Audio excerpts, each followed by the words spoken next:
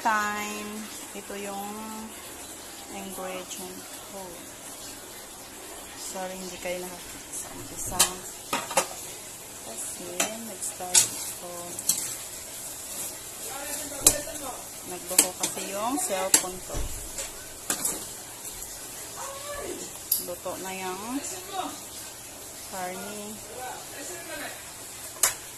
Ang sinunod natin is sitaw. Tapos na yung hugasan natin. Sitaw at kalabasa. Sabay na.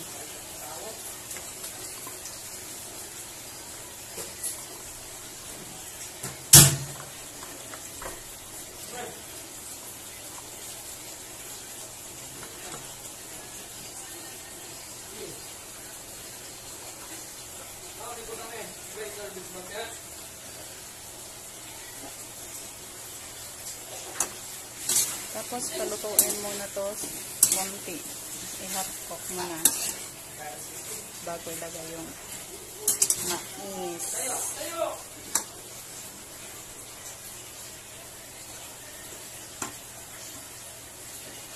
Okay. Palitan natin. Ilang minutes lang. Habang nagluluto ako, ito naman si Ate Ella ay nag-aaral. Blippi daw yung i-spill niya.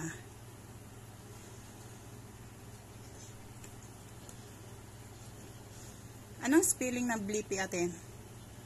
B-L-I-P-P-I. Very good. Ah. Wow! Very good ang ate. Basahin mo yan lahat. Ah. Yes.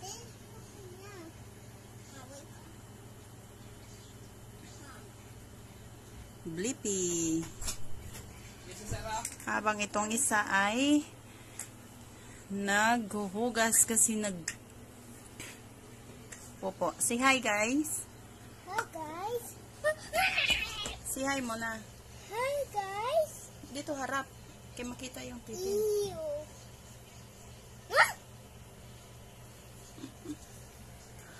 Hi guys. Hi guys. Welcome to my vlog. So, balik na tayo sa ating niluluto. Wait lang. So, okay na yung ano natin. Yung tuloy natin. Ilagay na yung mais.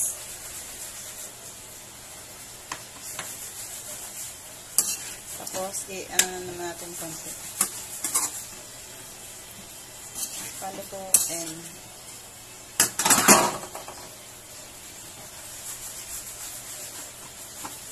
Tapos ilagay na lang siguro natin din tong talong.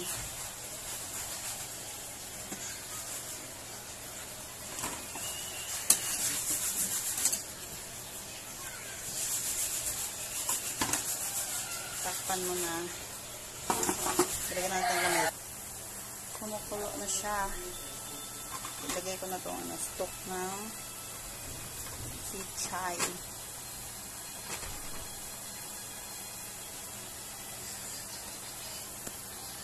At itong pampalasa.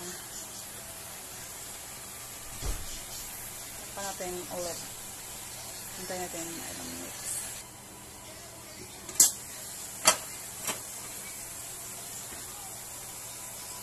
Ito na yan. Ilagay natin yung gata. Iba po yung gata namin dito kasi naka-freeze, yan, naka-frozen. Kaya ganyan. Pero yung ano yan, fresh na anong kata.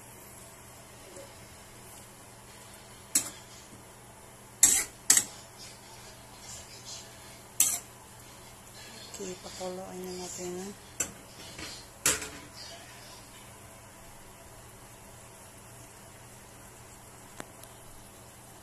Ibigay ko na ito.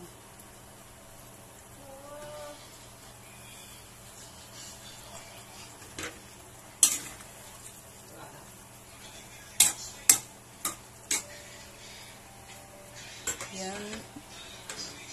Tapos may, may yung dahon na lang. Dito natin lang asin.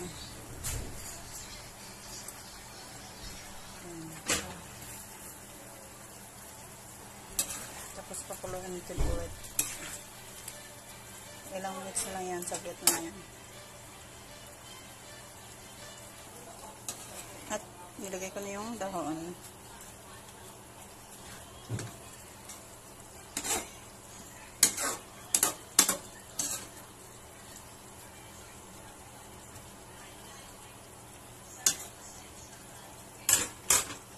Takpan ulit.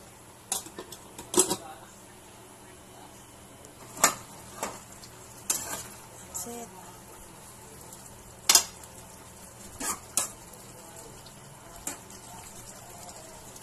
Okay na siya. Kain na na.